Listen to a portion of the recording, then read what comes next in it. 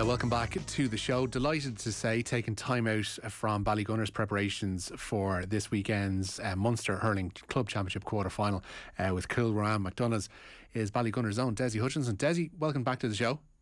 Thanks a million. Thanks uh, for having me. Well, uh, thank you for taking time out. I'm just wondering, like, what's the preparation like for, for a big game like this? Because, uh, like, I'm, I'm kind of thinking since ever since you came back from Brighton, there probably hasn't been a quiet game or a kind of a routine game. It's pretty much been go go go, pandemic, go go go again for you.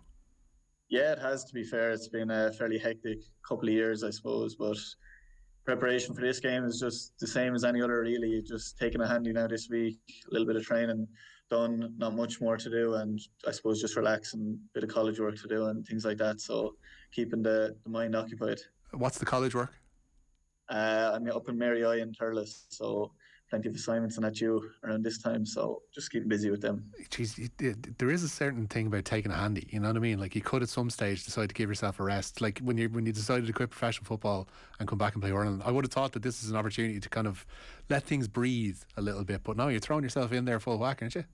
Yeah, uh, there's definitely no time to breathe anymore. I'm probably busier now than I ever was. But uh, look, it's all for it's all for good reasons. You know, it's it's nice to keep busy too. Um, obviously, you could do it to break now and again, but look, we get that at times too. Yeah, I was just going to ask you about the break as well. Like, it's something that has, has popped up a lot, I guess, in conversation about, uh, particularly about intercounty players, because uh, when this notion of the split season came about, there was thought that you know it's going to give club players chance to concentrate on club, and it will have uh, intercounty players not being pulled away from club duty uh, during the course of the intercounty season. Uh, but for players like yourself, it seems to be a never-ending year. Uh, is that how you feel with this, or has there been kind of enough breathing room for you, or is there still some tinkering that needs to be done with this season?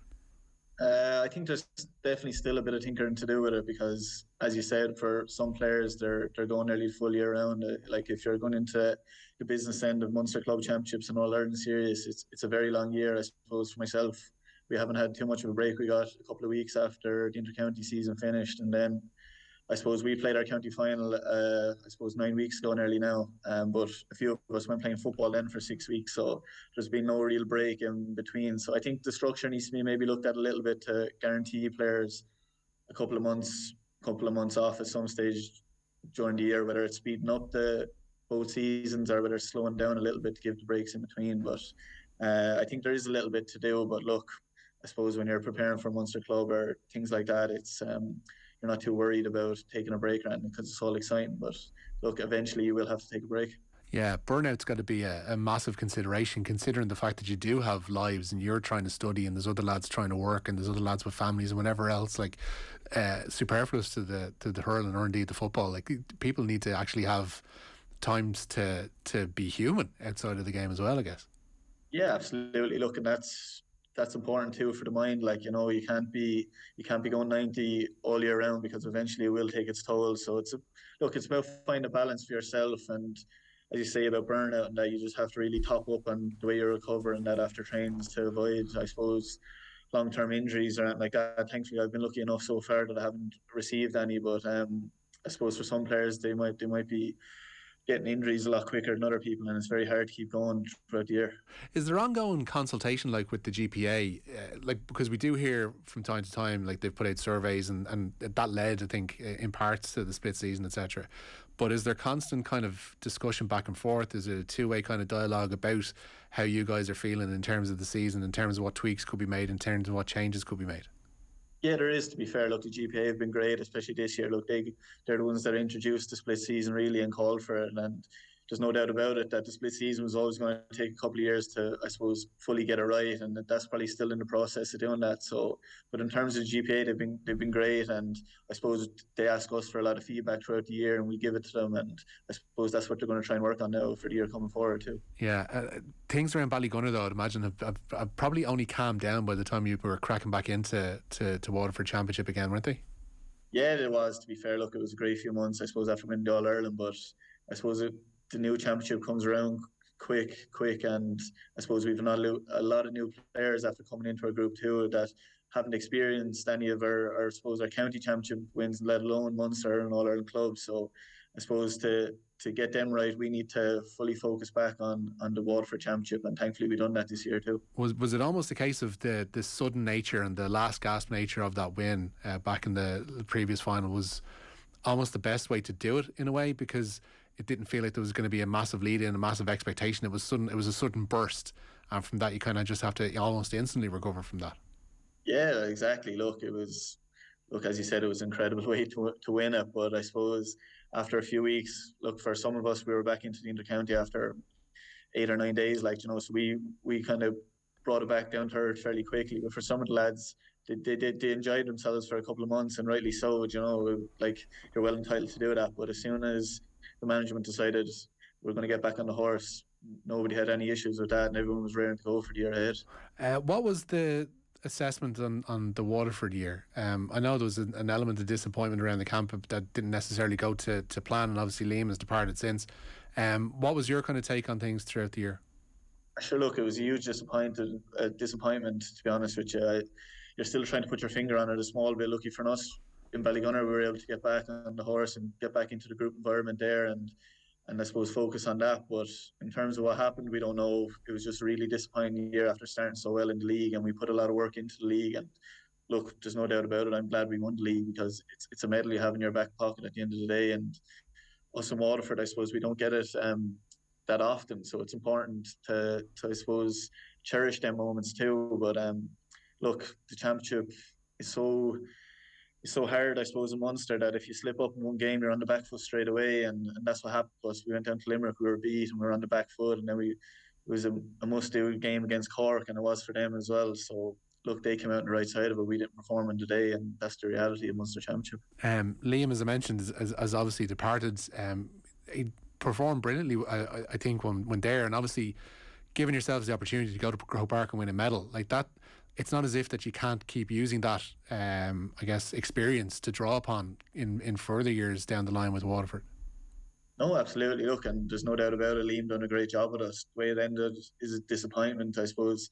It might overshadow all his good work and the way it ended, but like we're definitely in a better place as a team because of Liam's work and um, no doubt about it, Davey's going to drive that on even more and get still some belief in us that we can go all the way because I think maybe we lacked that a small bit in, in the last couple of years of actually getting finals and maybe not believing 100% that we were going to win them. And look, when you're at that kind of level and you're playing against top teams, you need to have all the belief in the world. And maybe we lacked that a small bit, but as you said, it's going to be experience for us all, knowing that if we come across them situations again, we're going to have to do a little better with them. What you put that lack of belief down to?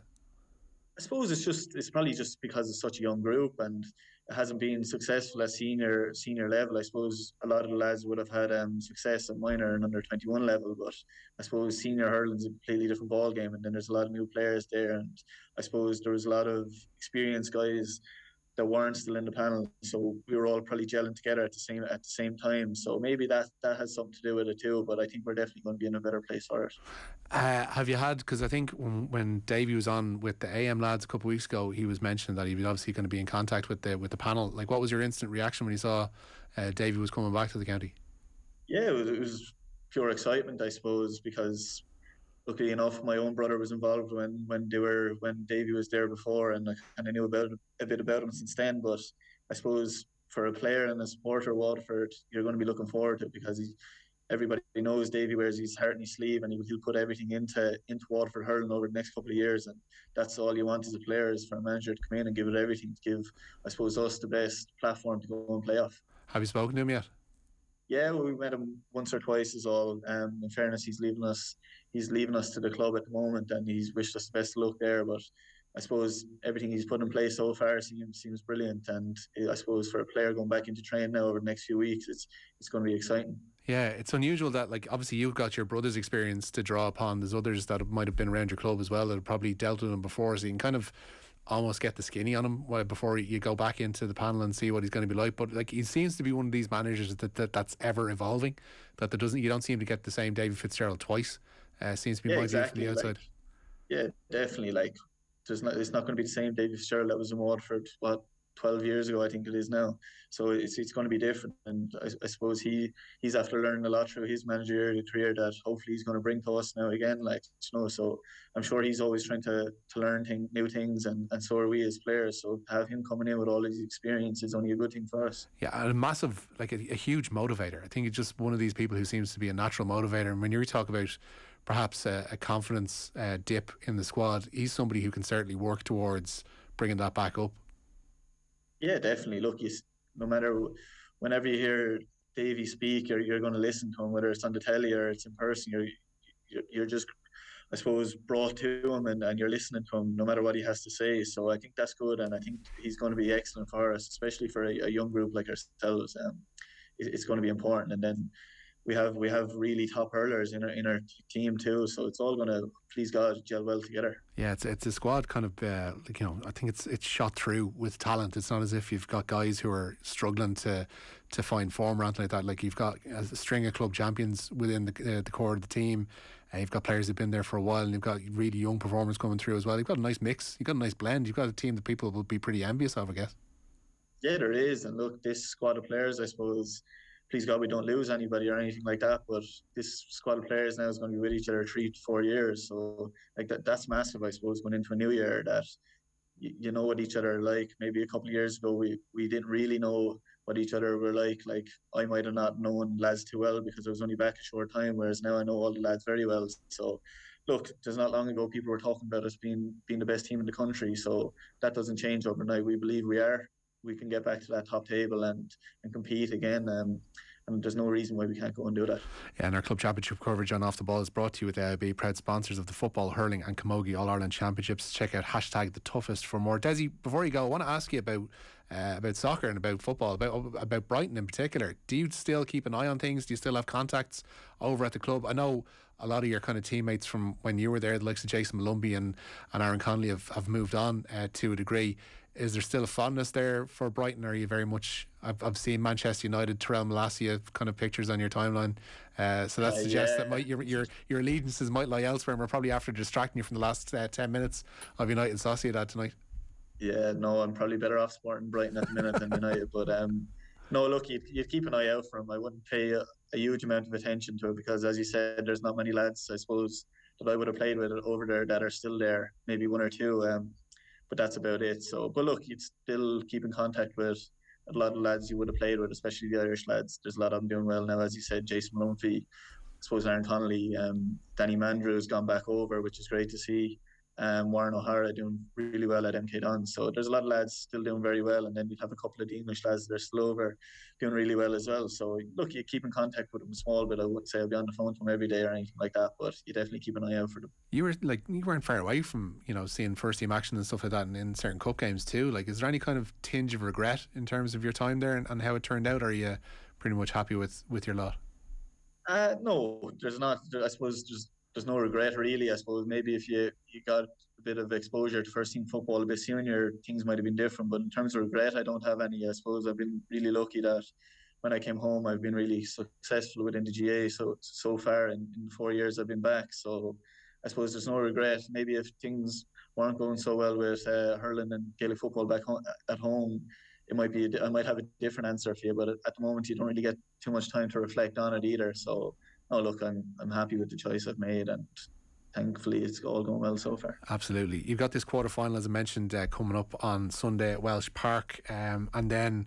Like it's like you look through that Munster Championship and it like, you, the the talent that's uh, uh, you know basically on show. The other half of the draw you got Ballyea and Finbarr's, and then uh, Ye will be playing the Piarsaigh if you get through. Like that's it's an incredibly stacked championship, really, isn't it?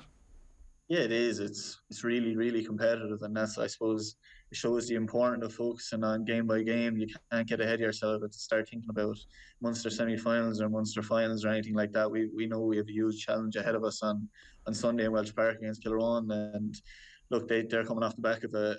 A really good uh, county final win. I think it's first time in uh, 37 years or something like that. So they'll they'll be on such a high, and it's going to be a massive challenge for us. And but look, it's one we're really looking forward to. This is why you play the game. You want to be involved in these big games, and look, we've probably have a target on our back as well after after last year, and people are going to want to beat us. So we know we're going to have to stand up even more. Yeah, absolutely. Dessie, uh, do you want me to spoiler the United result for you tonight? Or are you okay? Uh, go on, you can give it to me there. Uh, they won 1 0, but it's not enough to top the group, so you still got an right. extra round in the Europa League. Uh, but uh, yeah, a victory is a victory, I guess, at the end of the day, isn't it?